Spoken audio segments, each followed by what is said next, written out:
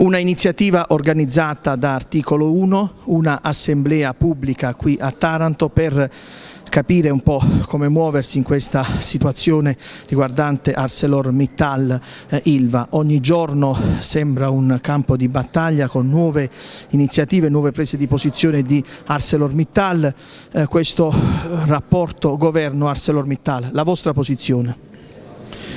Noi abbiamo convocato questa assemblea pubblica con uh, un nostro dirigente nazionale di primissimo piano come l'onorevole Arturo Scotto insieme ai sindacati continuando una serie di iniziative che abbiamo messo in campo come articolo 1 in queste settimane in vari comuni della provincia ed ora qui nella città capoluogo. Per noi è importante fare un ragionamento d'insieme, non si può tenere fuori il diritto alla salute, il diritto a vivere in una realtà ambientalmente pulita eh, tenendola lontano dal diritto al lavoro. Oggi ci sono lavoratori, ci sono aziende che eh, hanno eh, problemi seri in una vicenda che vede una città spaccata in due. Noi lo diciamo senza mezzi termini, che siamo per il rispetto del piano ambientale, che siamo per il rispetto delle prescrizioni, che eh, siamo convinti che un'azienda può attenersi a quelle prescrizioni, quindi salvaguardando l'occupazione e il lavoro. Noi pensiamo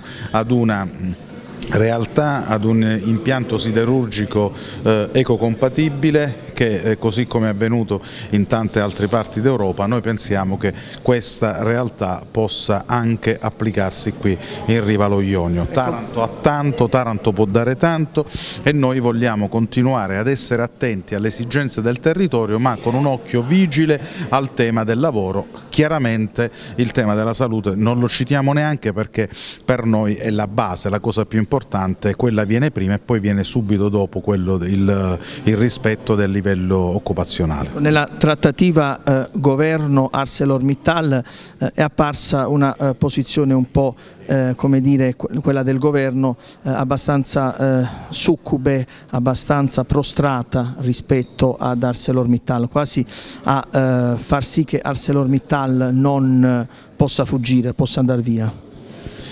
Noi domani il Presidente Emiliano incontrerà l'amministratrice la, delegata Morselli. Mm, riteniamo che mm, non si possa avere in questa fase un, una posizione che cambia a secondo dal, dalle indagini e da quello che fanno le procure di Milano e Taranto. Noi pensiamo che ArcelorMittal se vuole continuare a stare al tavolo e a gestire l'azienda che ricordiamo non è di proprietà ma è soltanto un, con un contratto di fitto, deve mantenere gli impegni siglati nel settembre dello scorso anno.